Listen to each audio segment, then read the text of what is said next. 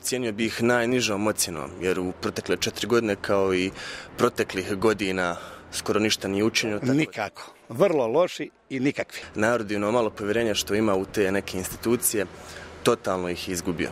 Ono što su obećali, ja moje viđenje, ako su 30% u vrh glave. Ma užas, nemam ništa. A nikako, kao i svi ostali.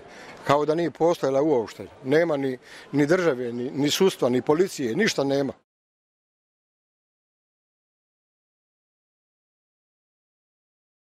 Ne očekujem ništa bolje ako ovi isti pobjede. Ne znam ko će biti izabran, ali u svakom slučaju ovi što su sad na vlasti ne smiju ni slučajno doći. Putio bi apele glasačima, narodu, da promijene nešto novo. Da traže druge neke strane, pa da vidimo šta će biti. Promjene da očekujem, iskreno ne očekujem nikakve promjene. Mislim da će i dalje da se zadrži taj famozni status quo, jer to odgovara mnogima. I vidim prosperitet i napredak naše zemlje u mladim, obrazovanim ljudima. Ovdje nema promjene. Nema promjene. Situacija ostaje ista, to je laža da kare bit će bolje. Bit će bolje, to je sirotinska utjeha. Pa nadam se, treba se nadati. Samo da otvore ovaj bezvizni režim, da školovano pametno može ići.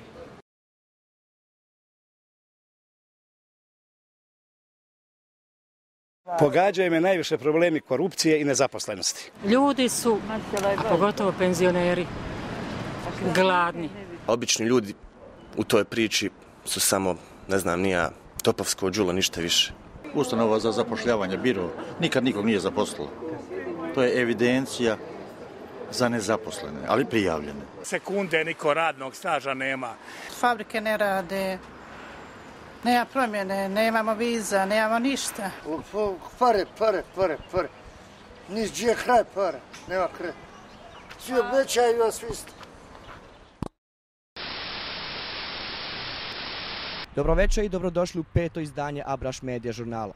Prošlo je ravno 20 godina kad su nas prvi put plakati bombardovali parolama o boljem životu. Stranke i pojedinci, pobjednici ondašnjih izbora, su u velikoj većini slučajeva i dan danas na vlasti, te bez lažne skromnosti pretendiraju na još četiri godine vladavine našim društvom.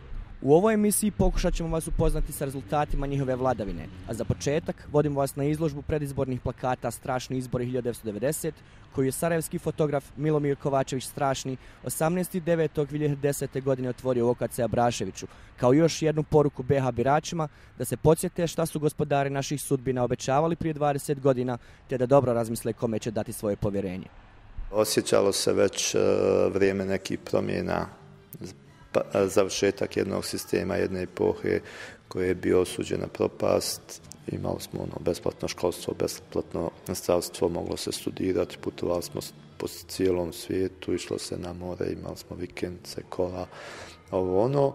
Međutim, bilo je nekih ljudi kojima je to bilo malo, koji su želili promjene, odakle sve te želje dolazile, to ne znamo. I dosta je ljudi se malo i pomamilo, vjerovatno htjelo je što bi rekli mi kod nas hljeba preko pogače i krenule su, da li su bili ne samo izmanipulisani uh, tim nekim novim obećanjima ili su vjerovatno ti prvi izbor bili uh, više rješavanje nacionalnih pitanja nego građanskih.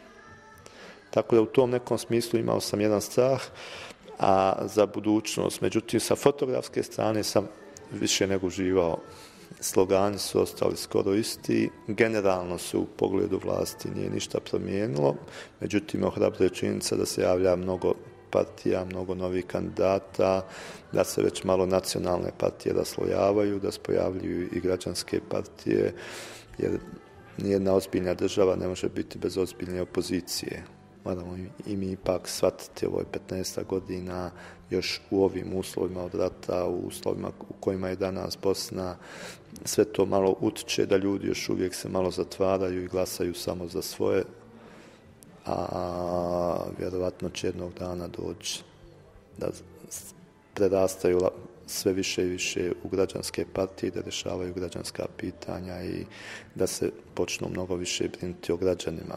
Želja ipak e, samo da se ljudi malo animiraju, i ovom izložbom da za svoju budućnost oni sami odlučuju znači jedan od tih načina je skoro i najvažnije to glasanje.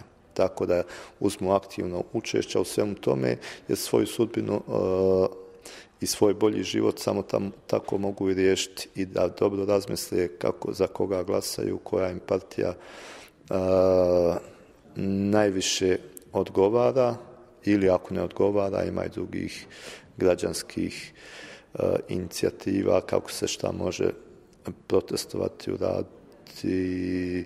bojkotovati ili ne znam, nija sad, sad su to sad neke građanske opcije, ali sve da se dešava e, ovim parlamentarnim demokratskim putem.